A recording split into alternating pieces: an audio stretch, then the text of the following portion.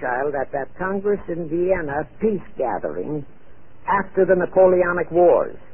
Russia would be on the winning side this time as it was in 1814. Therefore, the Tsar would be securely on his throne. Here it is pertinent to note that Russia, under the Tsarist regime, had been the one country in which the Illuminati had never made any headway, nor had the Rothschilds ever been able to infiltrate their banking interests.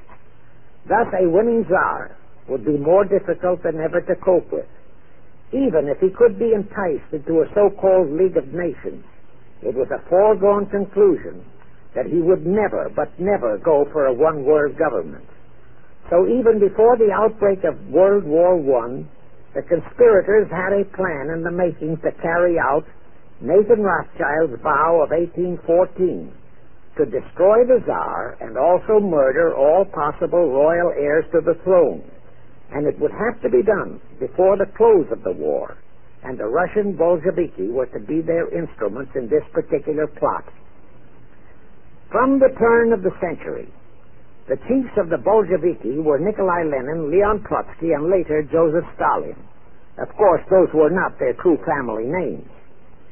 Prior to the outbreak of the war, Lenin headquartered in Paris. After the outbreak, Switzerland became his haven. Trotsky's headquarters were on the Lower East Side in New York, largely the habitat of Russian Jewish refugees.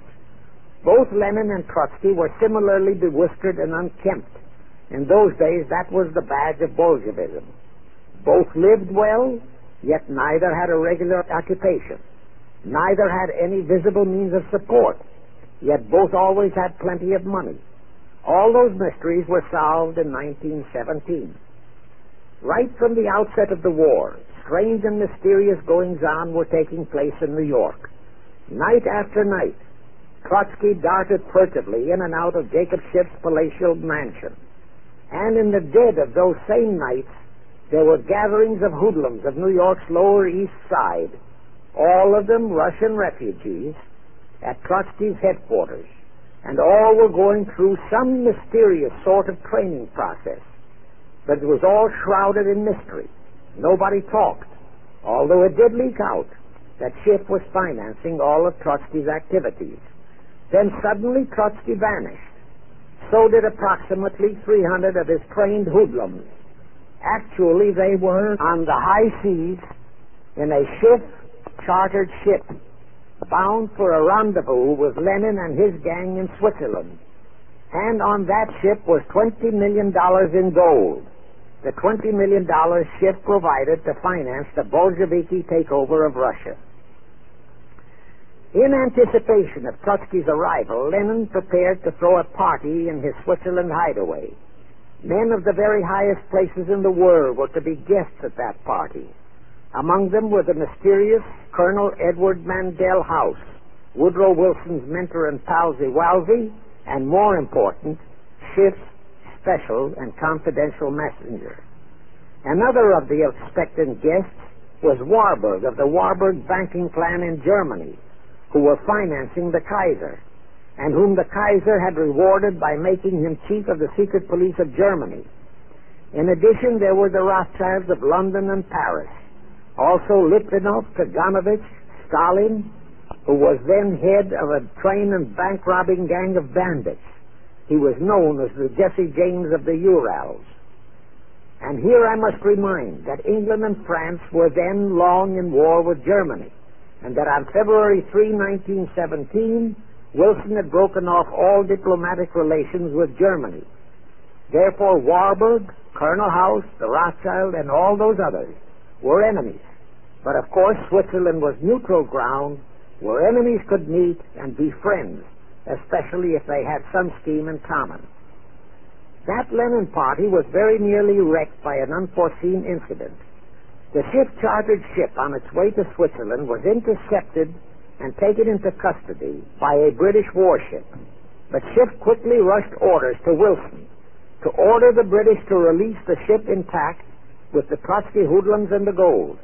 Wilson obeyed, he warned the British that if they refused to release the ship, the United States would not enter the war in April as he had faithfully promised a year earlier.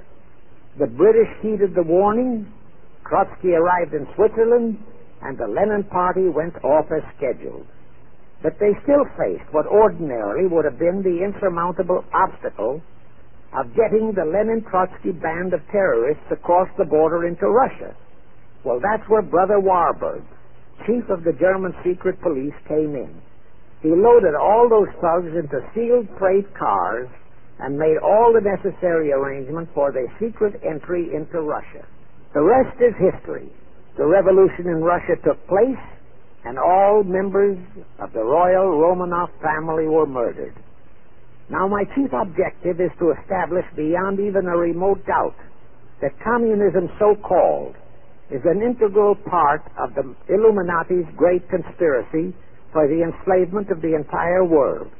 That communism, so called, is merely their weapon and bogeyman word to terrify the peoples of the whole world, and that the conquest of Russia and the creation of communism was in great part organized by Schiff and the other international bankers right in our own city of New York. A fantastic story? Yes. Some might even refuse to believe it. Well, for the benefit of any doubting Thomas, I will prove it by reminding that just a few years ago, Charlie Knickerbocker, a Hearst newspaper columnist, published an interview with John Schiff, grandson of Jacob, in which young Schiff confirmed the entire story and named the figure old Jacob contributed, $20 million.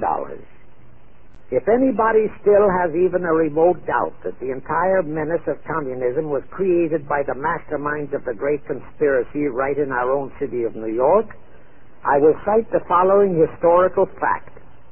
All records show that when Lenin and Trotsky engineered the capture of Russia, they operated as heads of the Bolsheviki party. Now, Bolshevism is a purely Russian word. The masterminds realized that Bolshevism could never be sold as an ideology to any but the Russian people.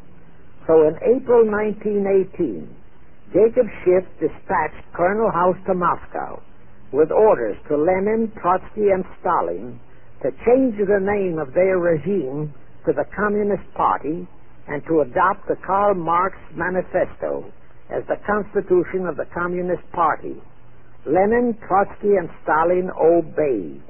And that year of 1918 was when the Communist Party and the menace of communism came into being. All this is confirmed in Webster's Collegiate Dictionary, fifth edition. In short, communism was created by the capitalists. Thus, until November 11, 1918, the entire fiendish plan of the conspirators worked perfectly. All the great nations, including the United States, were war-weary, devastated, mourning their dead. Peace was the great universal desire. Thus, when it was proposed by Wilson to set up a League of Nations to ensure peace all the great nations, with no Russian czar to stand in their way, jumped on that bandwagon without even stopping to read the fine print in that insurance policy. That is all but one, the United States, the very one that Schiff and his co-conspirators least expected would balk. And that was their one fatal mistake in that early plot. You see, when Schiff planted Woodrow Wilson in the White House, the conspirators assumed that they had the United States in the proverbial bag. Wilson had been perfectly built up as a great humanitarian. He supposedly became established as a God man with the American people. There was every reason for the conspirators to have believed that he would easily hornswoggle Congress into buying the League of Nations sight unseen exactly as the Congress of 1945, there was one man in the Senate in 1918 who saw through that scheme just as the Russian Tsar did in 1814. He was a man of great political stature, almost as great as that of Teddy Roosevelt, and fully as astute. The name of that great and patriotic American was Henry Cabot Lodge, not the phony of today who called himself Henry Cabot Lodge Jr. until he was exposed. Lodge completely unmasked Wilson and kept the United States out of the League of Nations. Here it becomes of great interest to know the real reason for the Wilson League of Nations flop.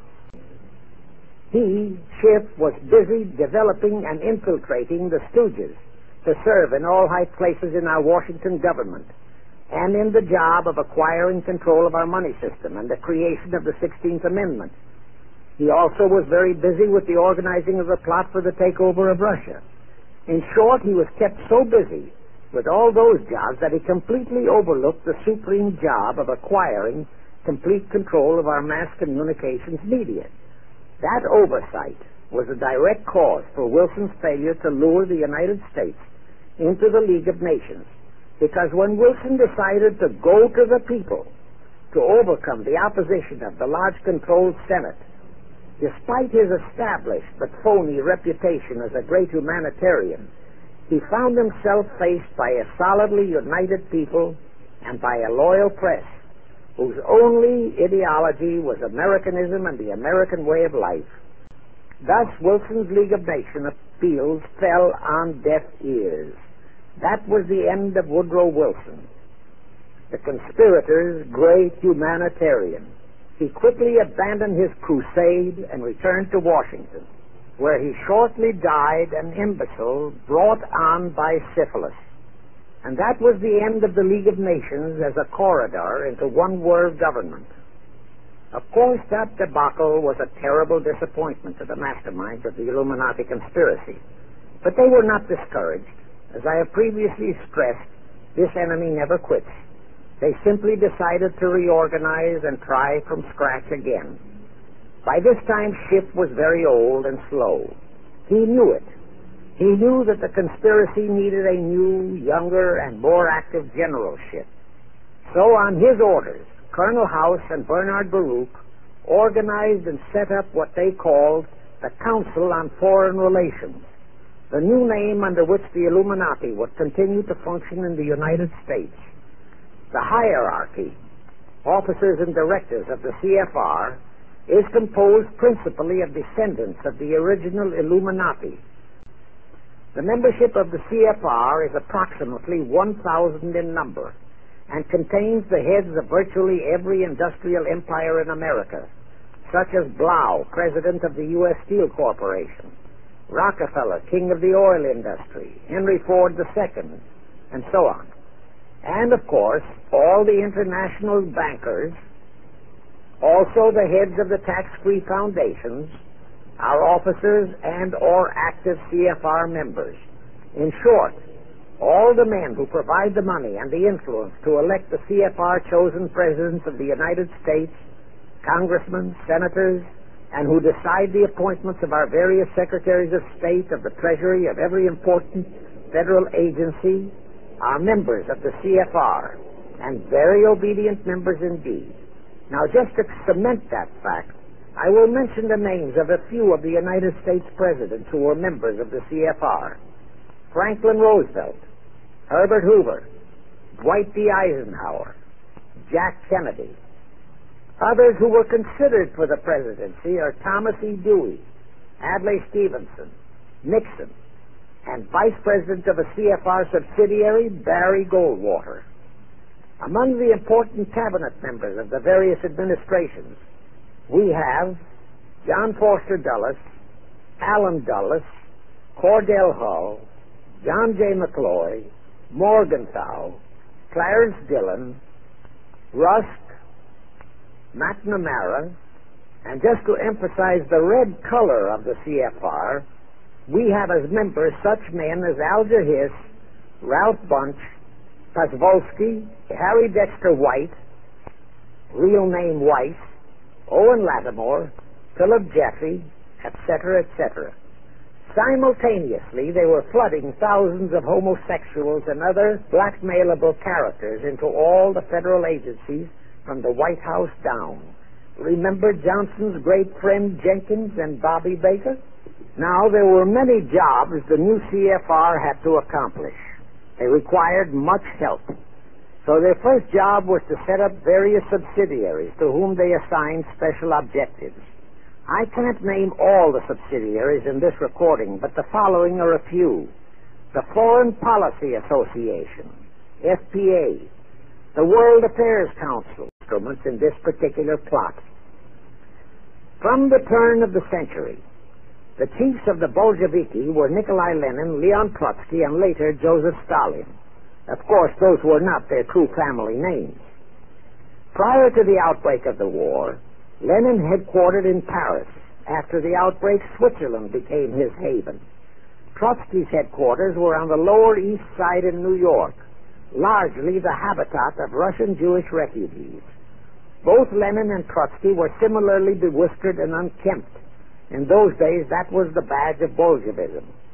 Both lived well, yet neither had a regular occupation. Child at that Congress in Vienna peace gathering after the Napoleonic Wars. Russia would be on the winning side this time, as it was in 1814. Therefore, the Tsar would be securely on his throne.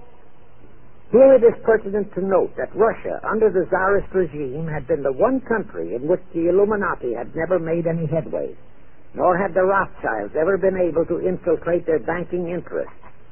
Thus, a winning Tsar would be more difficult than ever to cope with. Even if he could be enticed into a so-called League of Nations, it was a foregone conclusion that he would never, but never go for a one-world government. So even before the outbreak of World War I, the conspirators had a plan in the making to carry out Nathan Rothschild's vow of 1814 to destroy the Tsar and also murder all possible royal heirs to the throne. And it would have to be done before the close of the war. And the Russian Bolsheviki were to be their